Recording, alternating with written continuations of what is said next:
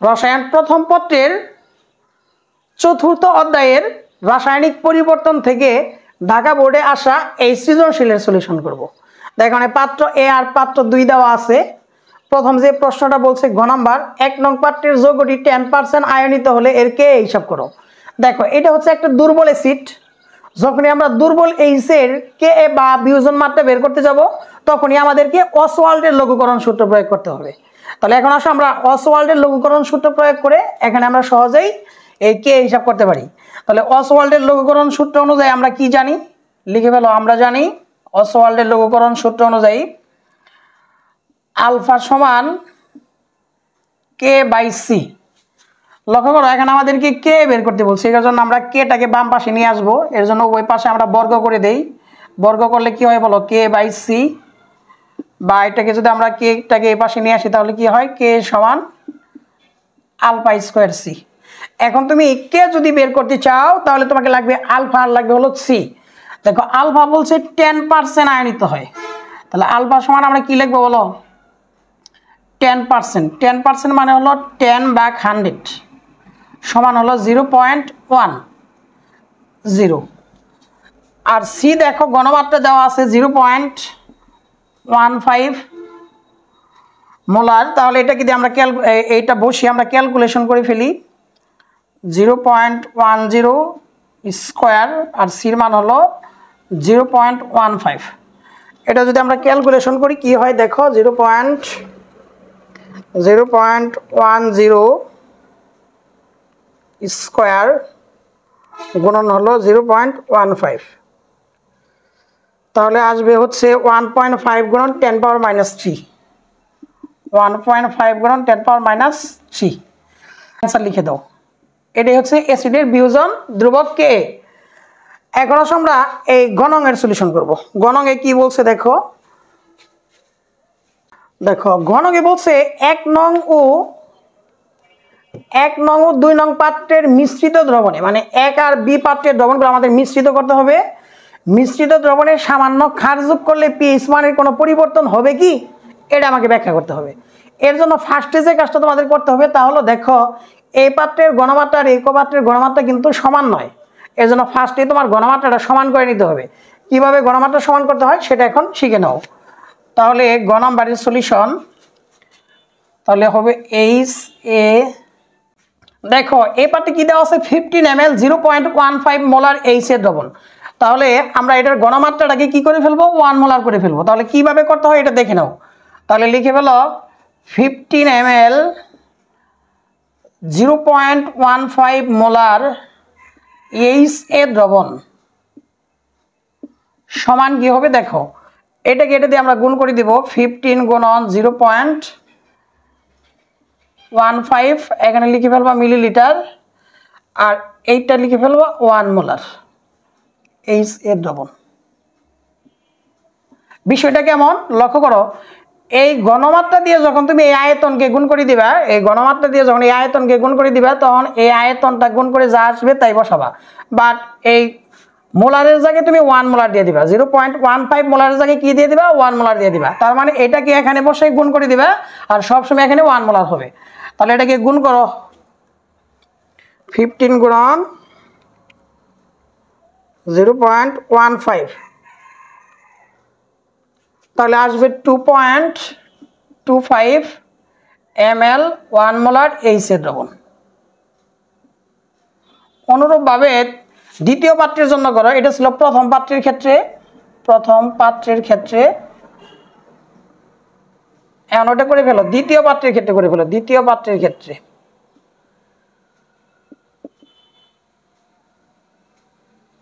দ্বিতীয় পাত্রের ক্ষেত্রে লক্ষ্য করো, আমাদের কি আছে? Five M L zero point two molar sodium hydroxide দ্রবণ সমান কি লিখতে পারি দেখো? ফাইভ গুণন zero point two M L one molar sodium hydroxide just এটা দিয়ে যখন এটাকে গুণ করে দিছি, তখন আমরা এখানে ওয়ান মোলার লিখে ফেলছি। তাহলে এটা মান আসবে one M L one molar sodium hydroxide. তাহলে এখন লক্ষ্য করে দেখো, আমাদের দুটা পাত্রের গণমাত্রা দুটা পাত্রের যে দ্রবণ, তার গণমাত্রা কিন্তু আমরা সমান করে ফেলছি। পাত্র এক ও পাত্র দুই মিশ্রিত করলে সংগঠিত বিক্রিয়া।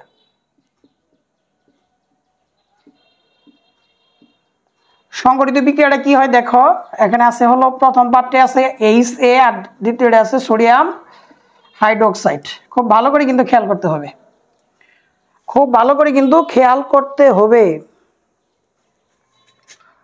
তাহলে দেখো কি উৎপন্ন হয়। আবার তোমাদের বিক্রিয়ার টেকনিক শিখেছিলাম আমি, প্রথমটা প্লাস দ্বিতীয়টা মাইনাস প্রথমটা প্লাস দ্বিতীয়টা মাইনাস এ প্লাস এ মাইনাসের সাথে চলে যাবে, তার মানে পানি উৎপন্ন হবে। প্লাস দেখো এই প্লাস এ মাইনাসের সাথে চলে যাবে। তাহলে সোডিয়াম এর সাথে যুক্ত হয়ে যাবে। তাহলে দেখো, লিখে বলো প্রাথমিক অবস্থায় আয়তন, প্রাথমিক অবস্থায় আয়তন, প্রাথমিক অবস্থায় আয়তন।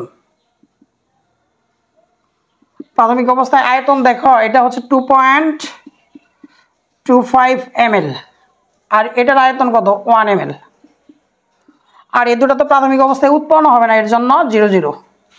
এখন দেখো, সাম্যাবস্থায়। সাম্যাবস্থায় কি হয় দেখো?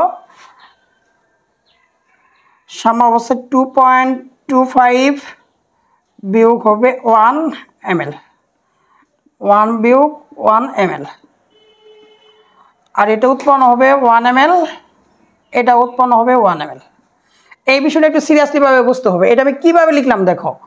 এই টু পয়েন্ট টু ফাইভ ঠিক আছে। তুমি দেখবা এসিড আর ক্ষারের মধ্যে কার পরিমাণ কম? যার পরিমাণ কম, তাকে তুমি বিয়োগ বিয়োগ করে দিবা। যেমন দেখো, এটার পরিমাণ টু পয়েন্ট টু ফাইভ আর এর পরিমাণ ওয়ান এম এল তাহলে এই দুটার মধ্যে দেখো, এই মানটা ছোটো। এর জন্য এইটা দেখো, এটা থেকে বিয়োগ করে দিছি। এটা থেকেই আবার এটাই বিয়োগ করে দিছি। যদি এটার মান ছোটো হতো, তাহলে কিন্তু এটা বিয়োগ করতাম। এটা থেকে এটাও এটা থেকে বিয়োগ করতাম। এটা কিন্তু লক্ষ্য করতে হবে। দুটা যৌগের মধ্যে যার পরিমাণটা কম থাকবে, তাকে বিয়োগ করে দিবা। আর উৎপন্ন হবে তার সমপরিমাণ। এর জন্য দেখো ওয়ান এম ছিল one M L one M ছিল ওয়ান এম তাহলে দেখো কি অবশিষ্ট থাকে?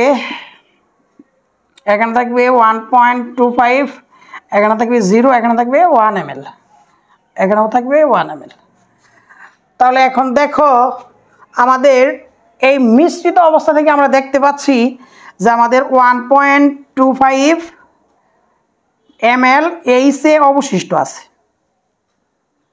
আর ওয়ান এম এল সোডিয়াম এর সাথে যুক্ত হয়ে এই যৌগটা, এই সোডিয়ামের যে লবণটা অ্যাসিডের যে লবণটা, এটা ওয়ান এম এল উৎপন্ন হয়েছে।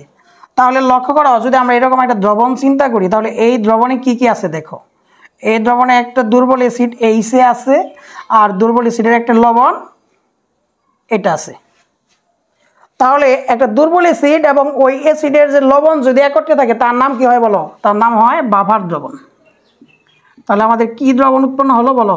আমাদের একটা বাভার দ্রবণ উৎপন্ন হলো।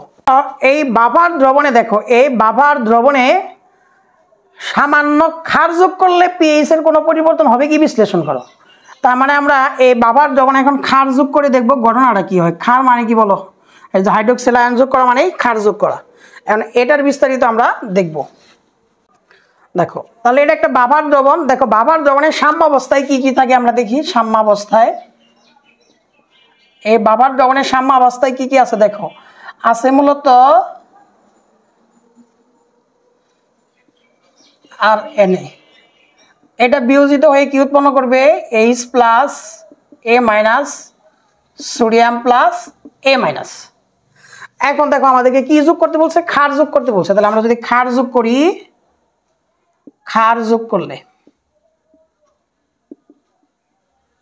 যদি খার যোগ করা মানে কি বলো? ওয়েস মাইনাস যোগ করা, খার যোগ করা মানে ওয়েস মাইনাস যোগ করা। তাহলে এখন দেখো, যখনই তুমি এই দ্রবণে অতিরিক্ত ওয়েস মাইনাস যোগ করবা, তখন সেই ক্ষেত্রে দেখো এখানে এইচ প্লাস আছে সোডিয়াম প্লাস আছে, সেইগুলা কি করবে দেখো? তো এই এইচ প্লাসটা তোমার এখানে এই ওয়েসের সাথে যুক্ত হয়ে পানি তৈরি করবে। কারণ তুমি যখনই এখানে ওয়েসটা যোগ করবা, তখন দেখো এই দ্রবণে কিন্তু ওয়েস আয়নের পরিমাণ বেড়ে যাবে। যখনই বেড়ে যাবে, তখনই এই দ্রবণে বিদ্যমান এইচ প্লাস এর সাথে যুক্ত হয়ে পানি তৈরি করবে। আর পানি যখন তৈরি করবে, তখন কি পিএইচ মানের কোনো পরিবর্তন হবে? না, কোনো পিএইচ মানের পরিবর্তন হবে না। তো এখন দ্রবণে যে পরিমাণ এইচ প্লাস মানে ওএইচ আয়নের সাথে যুক্ত হওয়ার পর যখন যে পরিমাণ এইচ প্লাসের ঘাটতি দেখা দিবে, সেই ঘাটতিটা মেটানোর জন্য দেখো, এখানে একটা দুর্বল সিট আছে এইচ এ তো এইচ এটা বিয়োজিত হয়ে সেই ঘাটতিটা পূরণ করে দিবে। আমি আবারও ক্লিয়ারলিভাবে বলছি যে যখন তুমি এখানে ওয়েইস মাইনাস যোগ করবা, তখন দ্রবণে এটার পরিমাণটা বেড়ে যাবে।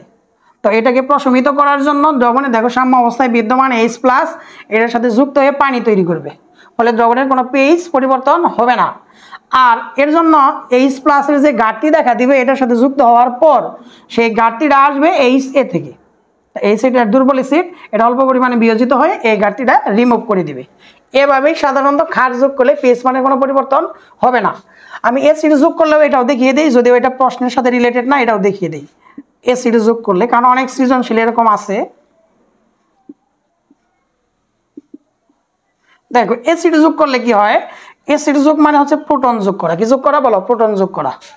তো যখনই তুমি এখানে প্রোটন যোগ করবা, এখানে প্রোটন যোগ করবা এইচ প্লাস যোগ করবা, তখন দেখো এই দ্রবণের সাম্য অবস্থায় দেখো এ মাইনাস আছে না? তখন কি করবে? এ মাইনাস এর সাথে যুক্ত হয়ে যাবে।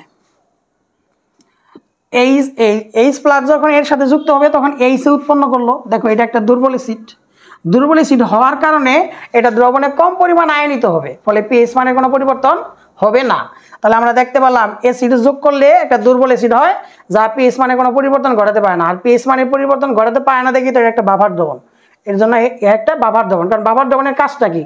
তুমি যদি এদের সামান্য পরিমাণে অ্যাসিড বা ক্ষার যোগ করো পিএইচ এর কোনো পরিবর্তন হবে না। এভাবে খুব সহজে তোমরা এই সৃজনশীলের অ্যান্সার করতে পারবা। লেখাগুলো কিন্তু আহামরি বিষয় না। বোঝাটা হচ্ছে মূল বিষয়। যেমন এখানে ক্ষার যোগ করলে কি হলো আর এসিড যোগ করলে কি হলো, এটা একটু বুঝতে পারলেই হলো।